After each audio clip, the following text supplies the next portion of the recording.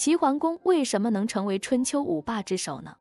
齐桓公，齐国的第十六位国君，也就是历史上所说的公子小白。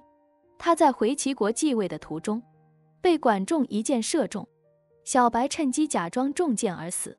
管仲信以为真，派人飞马报告在鲁国的公子纠，因此公子纠的部队行动放慢，第六天才赶到齐国。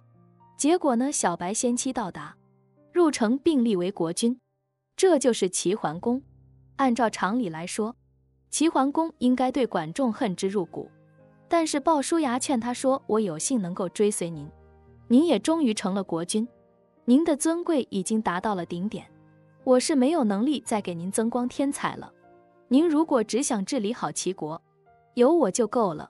假如您想成为霸主，就非管仲不可。管仲在哪里？